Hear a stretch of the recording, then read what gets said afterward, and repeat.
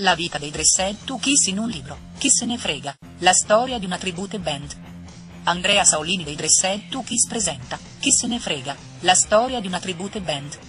La nascita e il successo dei Dressed to Kiss, una fra le più celebri cover band dei Kiss, raccontata da uno dei suoi quattro membri sotto la forma di un diario on Tero ad.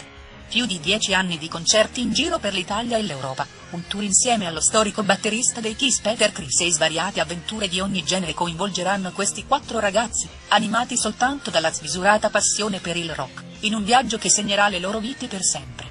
Il libro contiene la prima sceneggiatura mai scritta da una tribute band, un giorno tanto atteso.